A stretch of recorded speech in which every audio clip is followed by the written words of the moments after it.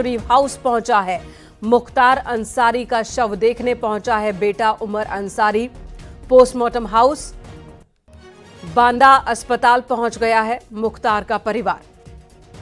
तो खबर आ रही है कि उमर अंसारी बांदा अस्पताल पहुँच चुका है और फ़िलहाल मुख्तार का शव करेगी।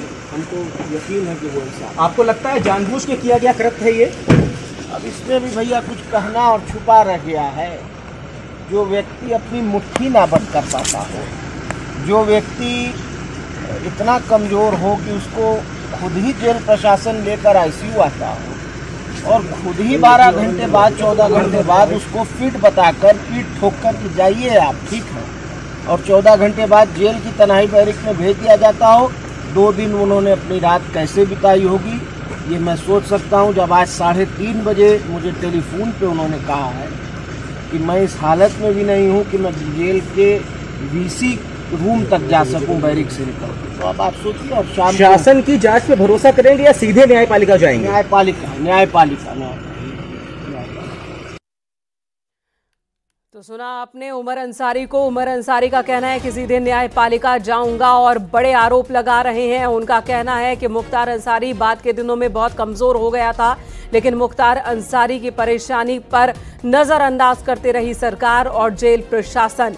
वो इतना कमज़ोर हो गया था कि वीसी रूम तक नहीं जा पा रहा था और ये बात खुद मुख्तार अंसारी ने फ़ोन पर उमर अंसारी को बताई थी। ये उमर अंसारी का कहना है। और साथ ही ये तस्वीर हम आपको तब की दिखा रहे हैं जब उमर अंसारी मोर्चरी हाउस पहुँचा। अपने पिता मुख्तार अंसारी का शव देखने के लिए। और अब उमर अंसारी का कहना है कि न्यायपालिका का वो रास्ता अख्तियार करेंगे। उन्हें किसी से उम्मीद नहीं है। कहीं कोई साजिश तो नहीं। जब ये सवाल उनके सामने रखा गया तो उन्होंने कहा कि क्या ये बात भी छिपी है?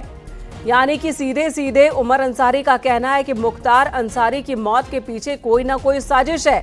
जबकि इससे पहले मेडिकल जो रिपोर्ट हुई थी जब मेडिकल जाँच हुई थी, सीएमओ के निर्देश पर एक टीम का गठन हुआ था और उस टीम ने मुख्तार अंसारी का मेडिकल जाँच किया था, जिसमें कुछ भी गड़बड़ नहीं निकला था।